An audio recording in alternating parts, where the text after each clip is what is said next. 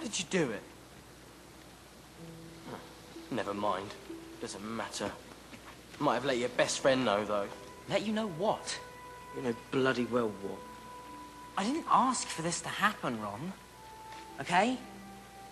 You're being stupid. Yeah, that's me. Ron Weasley, Harry Potter's stupid friend. I didn't put my name in that cup.